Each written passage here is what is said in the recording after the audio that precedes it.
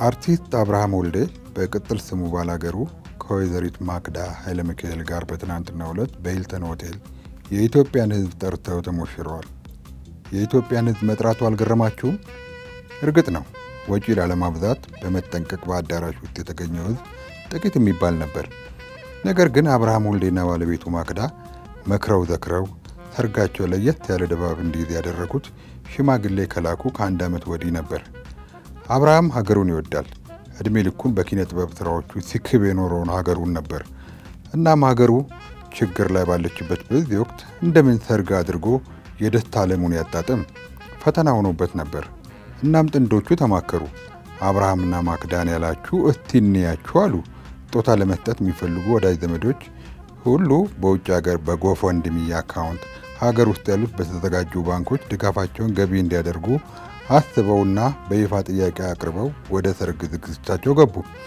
አብርሃምና ባለቤቱ እንዲህ የሚል መልእክት ለወዳጅ ዘመዶቻቸው ልከው ነበር። በሀገራችን ሰርግና ሞት አንድ ነው ይባላል። በሞት በሐዘን፣ በጋብቻ ሰርግ እኩል ቦታ ይሰጣቸዋል። እኔ ግን ጋብቻ ለሀገሬ ከመስራትና ከመሮጥ የሚያሰናክለኝ በወልድ ደግሞ ፈሪ ሆኜ እንደ ልቤ እንዳልናገር የሚያደርገኝ ስለሚመስለኝ ብቻ ለዓመታት ሲሸሸው ኖሬያለሁ። አሁን ግን ጊዜው ሲገፋ ሀሳቤን አስቀይሮኝ ወደ ትዳር ዓለም ልገባ ነው። ዕድሜውን ሙሉ ስለ ሀገርና ስለ ሕዝባት ብቻ አስቦ ለኖረ ሰው ምናልባት ሀዘኑን እንጂ ሰርጉ ብቻውን ሊያደርገው እንዴት ይቻለ ይሆን? ስለዚህም እኔና የሕይወት አጋሬ የደስታ ተካፋይ መሆን ለምትሹ ወዳጆቻችን ሁሉ በመንፈስ ከእኛ ጋር እንደምትሆኑ በጽኑ ልብ በማመን የሰርጋችን ጥሪ በያላችሁበት ይድረሳችሁ እንላለን። ከቤተሰቦቻችን ከቅርብ ጓደኞቻችን አንስቶ ለሰርጋችሁ ምን እናደርግላችሁ እያላችሁ የጠየቃችሁን እና ለማድረግም ለምትሹ ወዳጆቻችንና አክባሪዎቻችን ሁሉ ለእኛ ልታደርጉ የምትፈልጉትን ሁሉ በጦርነት ለተፈናቀሉና ለተጎዱ ወገኖቻችን ድጋፍ እንዲሆን ስንል የ GoFundMe አካውንት ከፍተናል። ድጋፋችሁን እንድታሳዩና እንድትተባበሩን ስንል ከኢትዮጵያዊ እህታዊና ወንድማዊ ፍቅርና አክብሮት እንጠይቃችኋለን ሲል ጥሪውን አቅርቧል። አብርሃም ከሰርጉ አስቀድሞ ራሱ ለሚመራው የባላገሩ ቲቪ በሰጠው መግለጫ ስለ ሰርጉ እንዲህ ብሎ ነበር። በሀገራችን በተከሰተው ጦርነት ምክንያት ቀደም ሲል አስበነው ከነበረው ከአንድ ሶስተኛ በታች እንግዶች ሰርዘናል። ወዳጅ ዘመዶቻችን ያዘጋጀነውን የእርዳታ ድጋፍ በማድረግ አለኝታኝነታቸውን እንዲያሳዩን ሲል ተማጽኗል።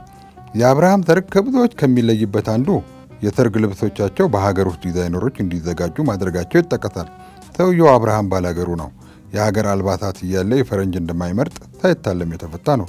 ሰርጉ ላይ እንደ ውስኪ አይነት መጠጦች ይልቅ ሀገር በቀሎቹ ጠላና ጠጅ ብቻ እንደሚኖሩ የተናገረው አስቀድሞ ነው።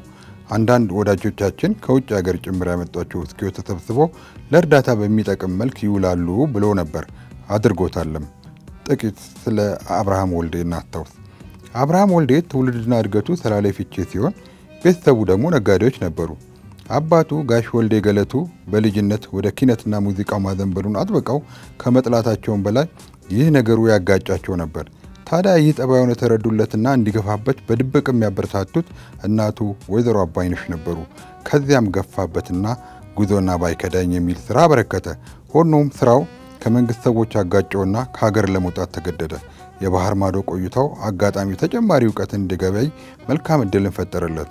አብርሃም ለዓመታት አሜሪካን ሀገር ኖሮ የኢትዮጵያ ሚሊኒየም ጊዜ ኩርፊያውን ጥሎ ወደ ሀገሩ ተመለሰ።